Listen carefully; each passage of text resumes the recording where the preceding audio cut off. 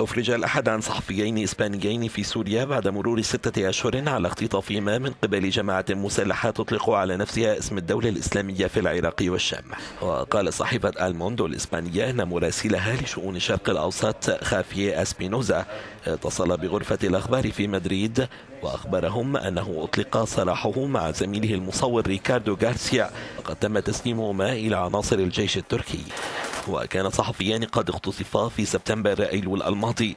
عند نقطة تفتيش على الحدود السورية التركية مع صحفي إسباني ثالث يدعى مارك مارجينداس الذي أفرج عنه في وقت سابق من الشهر الحالي. يذكر أن العديد من الصحفيين الأجانب تم اختطافهم في سوريا التي تشهد نزاعا مسلحا منذ ثلاث سنوات بين قوة المعارضة والنظام.